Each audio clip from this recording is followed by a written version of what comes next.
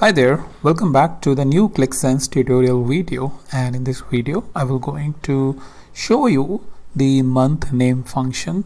So month name function is useful whenever you want to extract the name of the month from, from a given date. So if this is what your requirement is then you can use the month name function.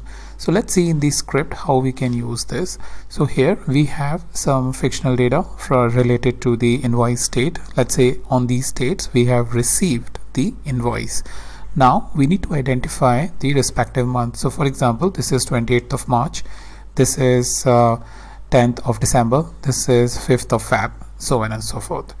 Alright so how we can do this? Uh, maybe inv underscore month is the new table name which I can give.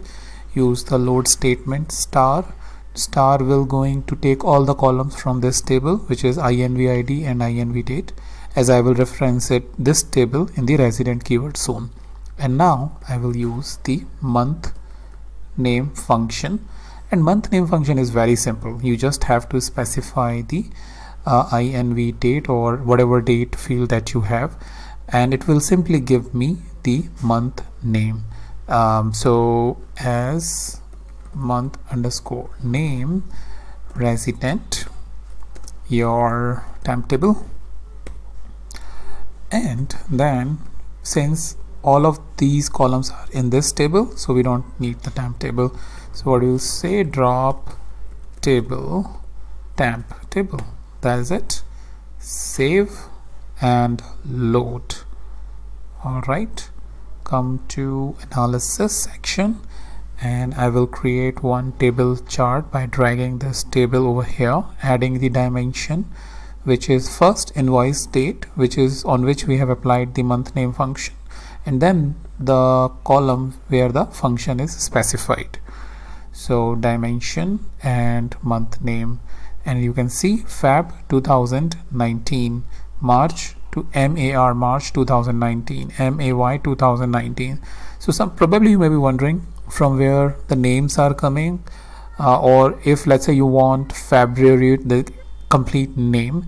Well in that case what you need to do is you need to come to this main script which is a default script and over here you have the month names um, the variable so here the Jan, Feb, March, APR, May.